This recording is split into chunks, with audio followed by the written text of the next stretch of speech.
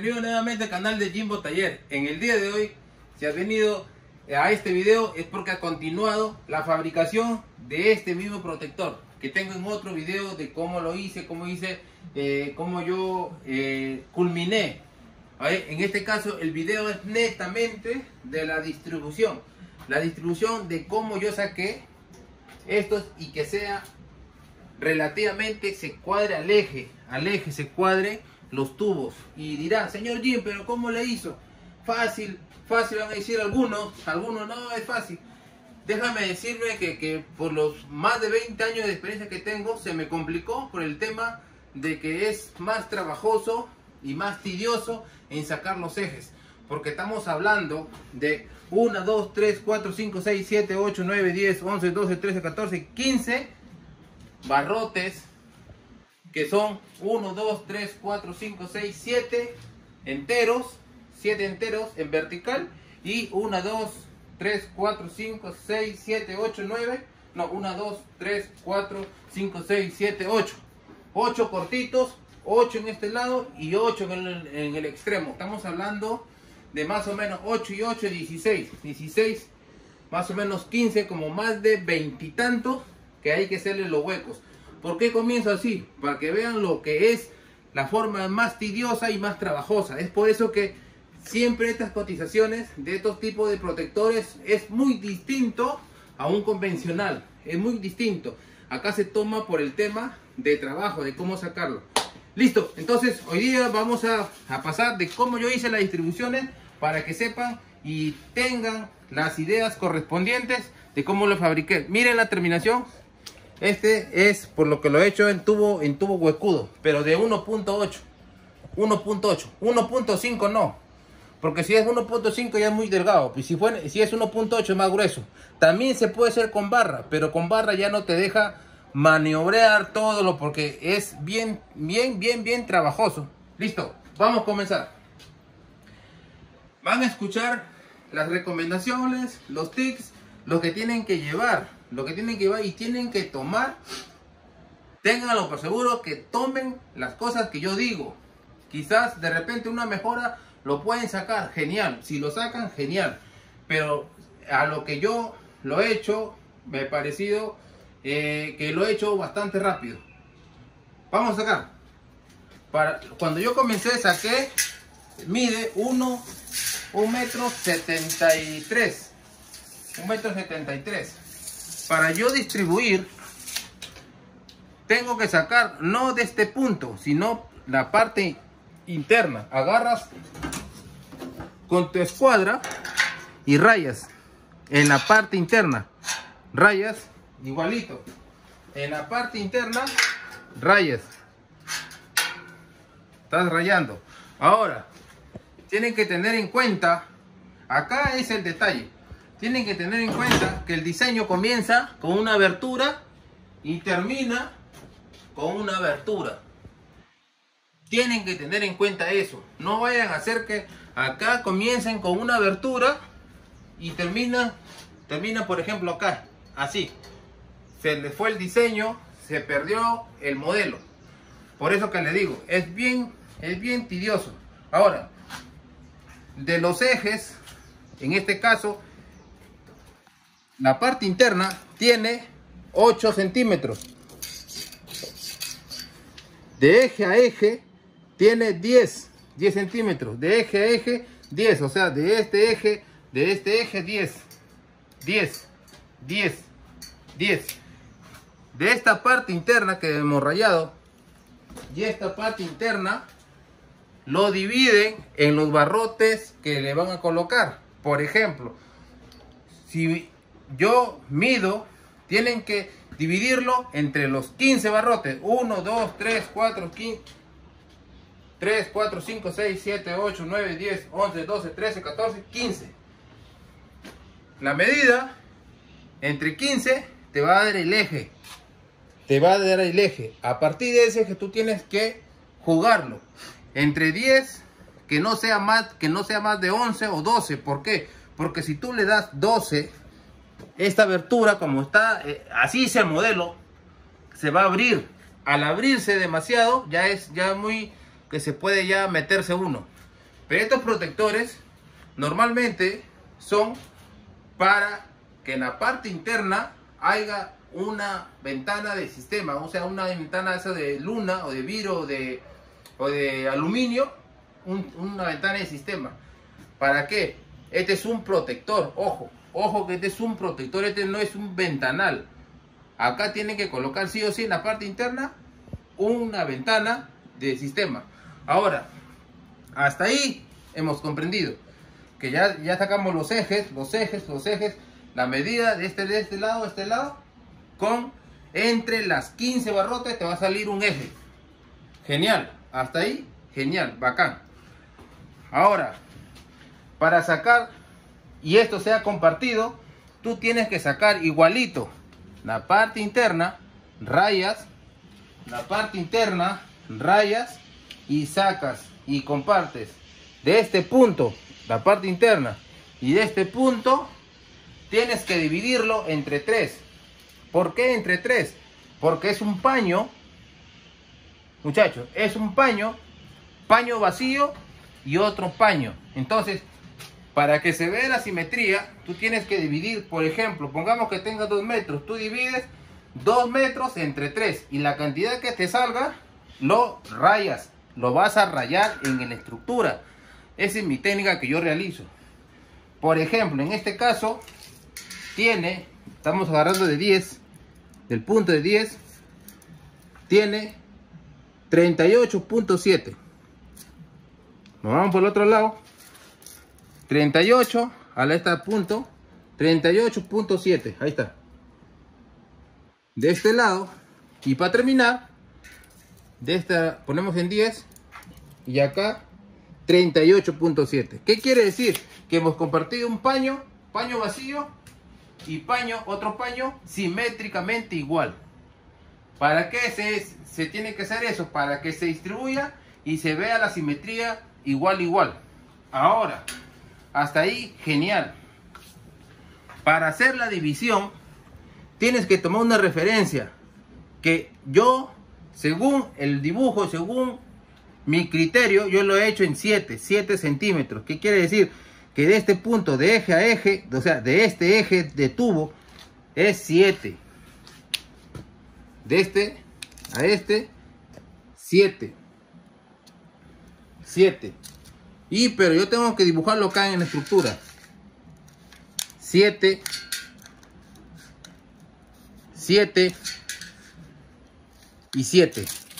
Mandan lo que está en color este rosadito. Ya, igualito hago acá la distribución 7 7 para qué para que estén al eje hasta ahí genial ya hicimos la distribución la distribución no tenemos que hacer muchachos la distribución no tenemos que hacer en la estructura ustedes dirán por qué por qué señor Jin ya van a ver por qué ahora una vez que yo ya tengo ya trazado tengo los ejes donde van a ir los barrotes tengo los ejes donde van a ir las, los horizontales los tres horizontales, tres horizontales y tres horizontales en la barra de media, que ese es el modelo.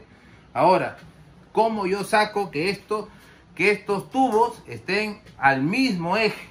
Se puede ser de infinidad de, de, técnicas quizás, pero para mí yo busco la rapidez, porque estos trabajos eh, son más complicados, más trabajosos y yo tengo bastante trabajo y tengo que hacer eficiente, así, eficiente. Entonces, ¿qué es lo que hago? tomo, tomo, corto, según el diseño corto, 1, 2, 3, 4, 5, 6, 7, 7 largos, 7 largos que no, no son cortados, 7 largos. Esos 7 largos los corto a la misma medida de la parte interna y lo coloco, lo hago, lo, hago la simulación, lo coloco acá. Lo pongo, ¿para qué? Ustedes dirán, ¿para qué, señor Jin? ¿Para qué? para que al momento,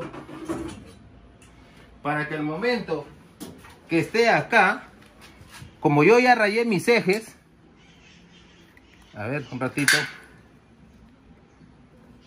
quiere, bueno, ya, ahí está, eh, como yo ya rayé mis ejes y yo ya puse un tubo, hago y lo hago y lo traspaso al que puse, así.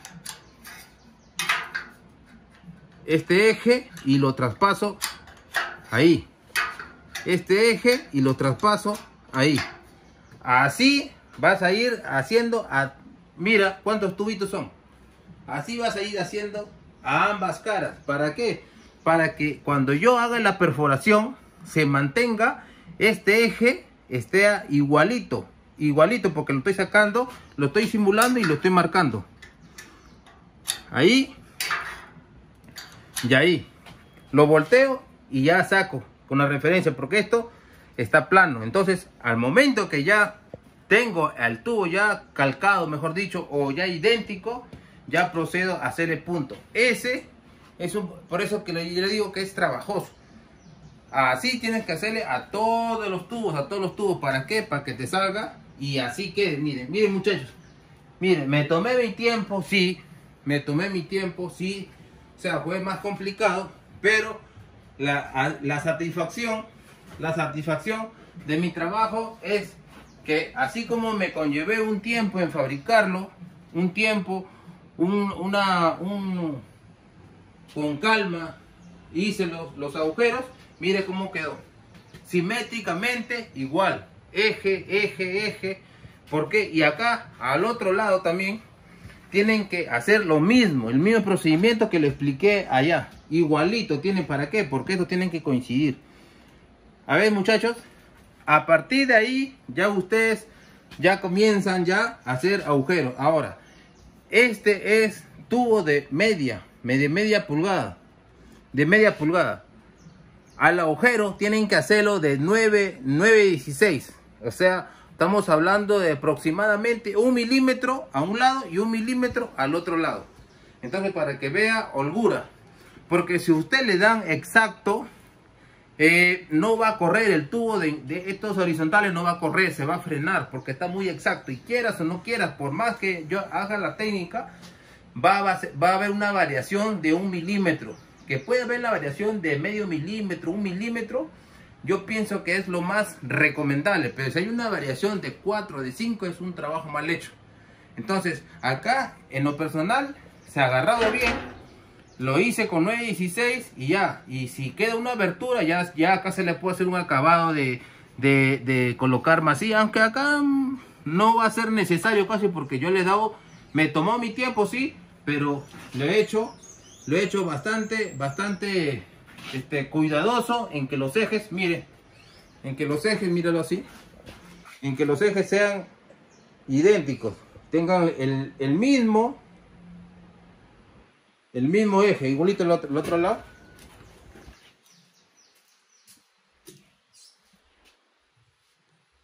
Listo. Y eh, ahora, es relativamente fácil, como te lo explico, es relativamente fácil. Solamente pónganlo en práctica. Pónganlo en práctica las cosas que yo les estoy diciendo. Eh, tengan bastante criterio en cómo fabricarlo. En cómo fabricarlo. Tengan bastante paciencia en hacer estos tipos de trabajo. Por eso que tú cobras tu mano de obra, cobras un poquito más porque es bastante tedioso. Pero si por A o B ya comienzas a renegar, te va a salir todo feo el trabajo. Tengan que tenganlo seguro. Ah, y otra cosa que también el cliente, si me sigues, si me sigues en el primer video que le he hecho la, la fabricación como yo lo hice, van a ver.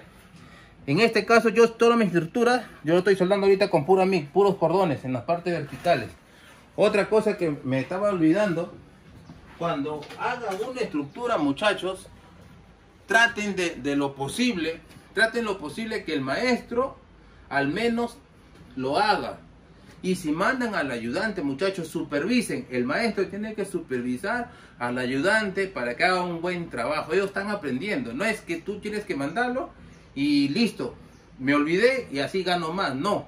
Porque ha habido eh, en el, otro video le explico que el, maestro lo mandó al ayudante y el ayudante ha hecho este tipo de estructura. Miren cómo ha hecho, cortó, no se hizo problemas el ayudante, agarró así. No hizo, no, así hizo las uniones de los cuadrantes. Acá también igualito. Así no haga muchachos. Y el otro así. O sea, tuvo, no se hizo problema, tuvo Así, vertical y horizontal. Los unió y acá los soldó y acá quedó un hueco. Un hueco, hueco y hueco. Eso está mal. Eso no, yo creo que un, un, ayudante lo puede hacer siempre y cuando el maestro está a su lado. Yo todos mis videos, yo hago mis estructuras, un buen trabajo es de esta forma, hacer las uniones como debe ser. Así, en 45 grados. Por eso existe el 45, eh, las estructuras en 45 grados. Y acá queda cerrado, cerrado, cerrado y cerrado.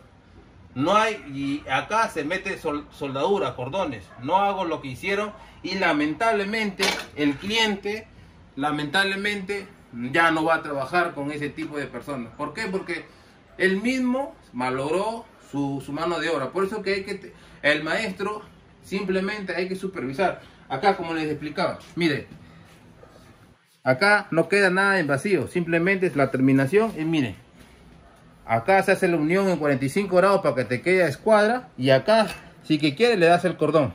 Yo estoy soldando con pura MIG. Igualito acá. Entonces te queda un trabajo estéticamente perfecto. Busquemos hacer perfecto. Busquemos hacer bastante, eh, este, ¿cómo se dice la palabra? Bastante eh, críticos con uno mismo. Con uno mismo. Porque cada día el ser humano se va aprendiendo día a día en este tema de la estructura metálica. No es fácil. Esto se, esto se, se complementa con años de experiencia, con 20, 23 o 25 años de los que yo tengo. Listo muchachos, espero que les haya gustado y espero que hayan entendido relativamente. Es fácil. Si quieres ver cómo yo lo fabriqué, lo pueden ver en el otro video. Igualito el mismo diseño. Este video lo quise hacer netamente como yo hice la distribución. Listo. Para los que me siguen, síganme en TikTok, en YouTube, en Instagram, en Facebook. Háganle un like, suscríbanse y compartan estos videos para, para la gente que recién se está iniciando. Y si de alguna forma te ayudó y te sirvió estos videos, también me puede hacer colaboraciones. Gustosamente los puedo, los puedo recoger con mucho cariño. Y yo sé que hemos crecido día a día y estamos yendo con más fuerza para hacer ya llegar los 100 mil suscriptores. Gracias a ustedes, muchachos. Gracias a ustedes porque con ustedes son los que este canal se está, está activo, está vivo. Gracias a ustedes. No se olviden, suscríbanse a mi canal y gracias por todo. Nos vemos en otro video. Gracias, nos vemos.